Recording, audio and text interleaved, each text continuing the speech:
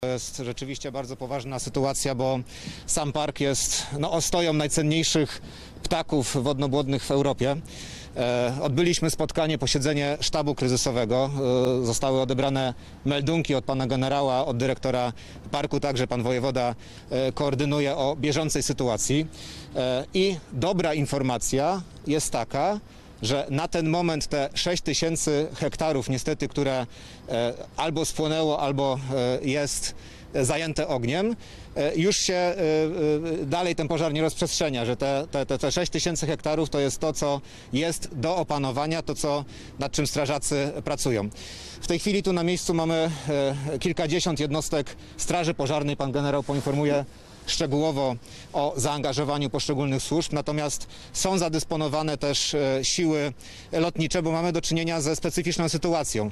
Biebrzański Park Narodowy w większości w tych mie- miejscach, w których e, mamy do czynienia z tym poważnym pożarem, e, to są bagna, to są torfowiska, to są miejsca, które no, niestety z powodu suszy w tej chwili zajęły się ogniem, ale są bardzo trudno dostępne, stąd konieczność użycia sił z powietrza.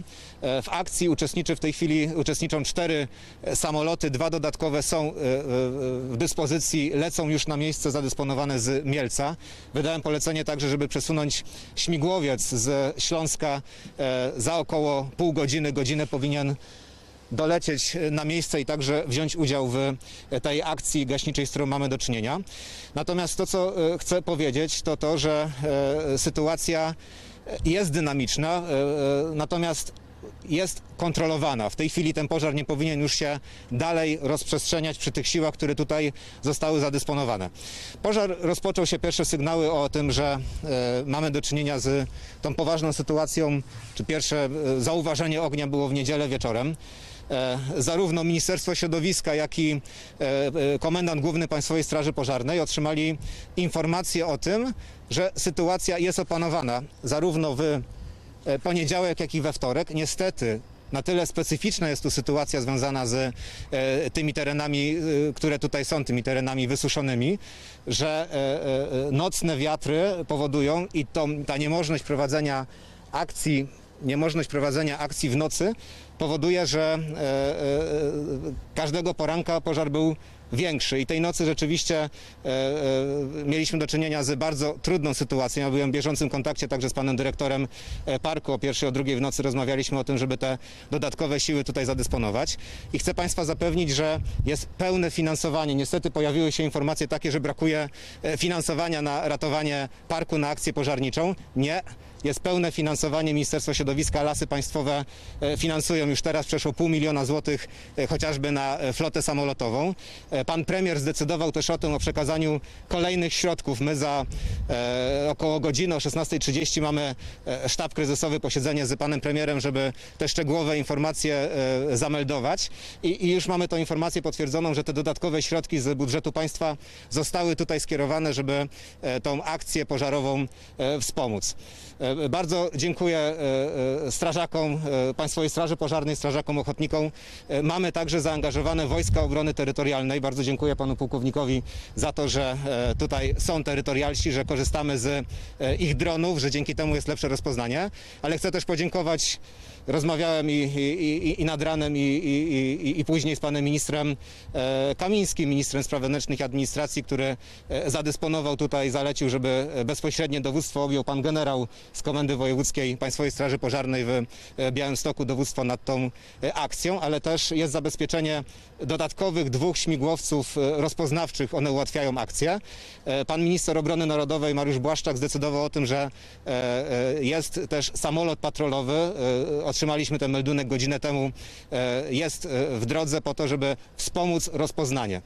Przy tych siłach sztab kryzysowy, konkluzja ze sztabu kryzysowego jest taka, że e, ten żywioł. Oczywiście nie jesteśmy w stanie w sposób odpowiedzialny powiedzieć, kiedy, ile to potrwa.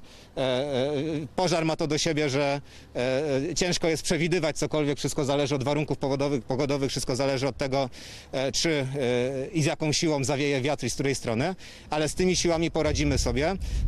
Szczęśliwie dyrektor, pan dyrektor Biebrzańskiego Parku Narodowego poinformował, że te najcenniejsze przyrodniczo tereny rzeczywiście były zagrożone, te najcenniejsze przyrodniczo obszary parku, natomiast w tym momencie tego zagrożenia już nie ma. E, Płoną, e, płonie obszar e, na granicach parku, oczywiście wewnątrz, ale, ale na granicach, gdzie nie ma tych, tych bezpośrednich terenów, obszarów lęgowych. Cały park, park jest obszarem lęgowym, ale tam te najcenniejsze gatunki nie są bezpośrednio zagrożone, ale będziemy monitorować. Oczywiście przyjdzie czas już po pożarze, po e, ustaleniu e, szkód, e, będziemy monitorować, sprawdzimy jak ta sytuacja odbiła się na przyrodzie, bo dla nas, dla państwa polskiego najwyższym priorytetem jest ochrona tych cennych przyrodniczo obszarów tu na miejscu. Serdecznie dziękuję wszystkim, którzy są zaangażowani w akcję ratunkową. Teraz oczywiście poproszę jeszcze o głos pana wojewodę, pana generała, a później, jeżeli będą państwo mieli jakieś pytania, to wszyscy jesteśmy do dyspozycji. Bardzo dziękuję. Proszę Państwa, rzeczywiście sytuacja jest dynamiczna, ale chcemy ześrodkować i zgromadzić odpowiednie siły i środki, aby e, z tymi wyzwaniami móc e, zwycięsko e, się zmagać. E, I ja chciałbym podziękować e, tym wszystkim osobom i instytucjom, które dotychczas były zaangażowane e, w walkę z żywiołem.